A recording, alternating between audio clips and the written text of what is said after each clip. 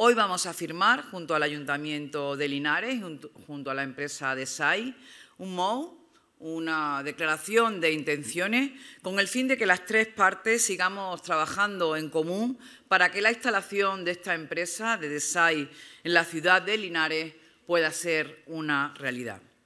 Miren, cuando el presidente, lo ha dicho también la alcaldesa, cuando el presidente Juanma Moreno anunció la cesión de la gestión de los activos de la antigua Santana Motor al Ayuntamiento de Linares,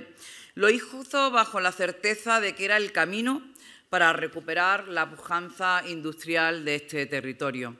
Porque, en definitiva, lo que Linares necesita son empresas, porque vosotros, los empresarios, las empresas, sois los que creáis el empleo y la riqueza y, en definitiva, sois la clave